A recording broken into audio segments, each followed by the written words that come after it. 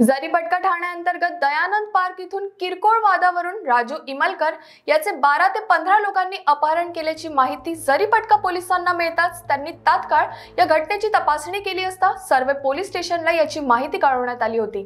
दरम्यान नंदनवन पोलिसांना केडीके ग्राउंडवर सर्वे उपस्थित असल्याची माहिती प्राप्त झाली असता पथक ग्राउंडवर पोहोचले. पोलिसांना बघताच सर्व आरोपी फरार झाले. मात्र राजू हा सुखरूप असून त्याच्याकडून पोलीस अजून विचारपूस करत असल्याचे सांगण्यात येत आहे. पोलिसांनी दोन आरोपींना अटक केली असून त्यातील एक अल्पवयीन आहे. तसेच अजून बारा आरोपी फरार असून त्यांचा शोध सुरू असल्याचे सांगण्यात येत आहे. दयानंद पार्क जवळ एक राजू प्रभू इलमकर एकोणीस वर्षाचा मुलगा आहे. त्याच्या तिथले लोकल लोकेश म्हणून एक दुसरा अजून व्यक्ती होता. त्याच्यासोबत त्याच्या परवाच्या दिवशी काहीतरी लहान कारणावरून भांडण झाला होता. आणि त्याच्यानंतर कालच्या दिवशी परत दुपारी त्यांच्या भांडण झाला होता. आणि तो संपल्यानंतर राजू इमलकरच्या घरी संध्याकाळी आठ वाजता लोकेश आणि त्याचे अंदाजे दहा पंधरा साथीदार ते आले होते आणि तिथे हे राजू इमलकर त्यांना सापडला नव्हता. त्यामुळे ते परत त्याला शोधून दयानंद पार्कमधून त्याला उचलून नेऊन गेले होते एक ऑटो रिक्षा आणि तीन मोटरसायकलवर. आणि हा माहिती आम्हाला भेटली अंदाजे त्याच्या उचलल्यानंतर अंदाजे पंधरा ते वीस मिनटानंतर. आणि लगेच आम्ही सर्व सिनियर ऑफिसर्स यांच्या मार्गदर्शनमध्ये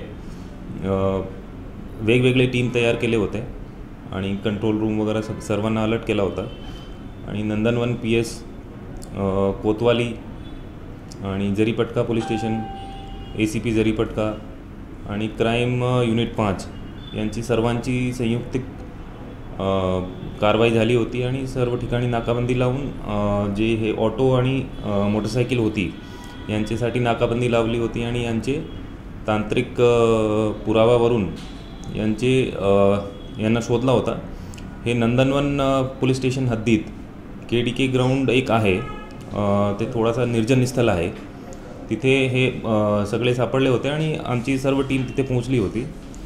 टीम तिथे पोहोचल्यानंतर ते आरोपी सगळे तिथून पळाले आणि आम्हाला जे फिर्यादी होता तो भेटला तिथे आणि तो सुखरूप होता. आता त्याच्याकडून पूछताछ चालू आहे की नेमका त्याला उचलण्याचं कारण काय होतं? आणि आता आमच्याकडे एक ऑटो रिक्षा आणि मोटरसायकल हे ताब्यात आहे. दोन आरोपी ताब्यात आहे ज्याच्यामधून एक आहे आतिश डोंगरे आणि दुसरा जे आहे ते मायनर आहे. आणि बाकी टोटल बारा आरोपीचे नाव आत्तापर्यंत निष्पन्न आहे आणि फिर्यादीसोबत आमच्या बोलणं आत्ता चालू आहे. त्याच्यामध्ये अजून किती आरोपी होते आणि नेमका कारण काय होतं ते आम्ही तपासतो आता. याच्यामध्ये जवळजवळ सगळे आरोपीमध्ये सगळे आरोपीवर एक दोन एक दोन गुन्हे आहे आणि कोराडी हद्दीतले काही गुन्हेगार आहे काही जरीपटकाचे आहे आणि काही कोतवाली हद्दीतचे आहे. आणि बॉडी ऑफेन्स आहे प्रॉपर्टी ऑफेन्स आहे सर्व प्रकारचे ऑफेन्स यांच्यावर आहे.